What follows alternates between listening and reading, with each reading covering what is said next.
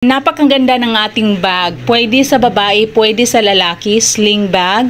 Pwede sa mga matatangkad, pwede rin sa hindi lang masyadong matangkad.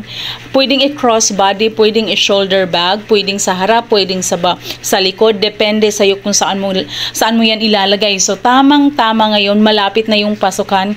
Ito yung mas magandang um, bilhin para sa anak mo. Alam mo ba, pig leather yung ginamit dito. Pag pig leather yung ginamit, ibig sabihin long lasting.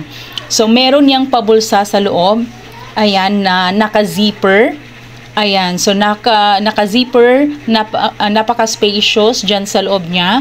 At sa kabila niyan merong dalawang bulsa na maliliit na bulsa, 'di ba? Pwede ang dami mong pwedeng ilagay diyan, notebook, libro, pwede pa kasya pa diyan, tablet or yung laptop na maliit pwedeng pwede dyan. So kung gusto mo nito, i-click mo yung yellow basket para maka-order ka. Ang bilis lang ng shipment.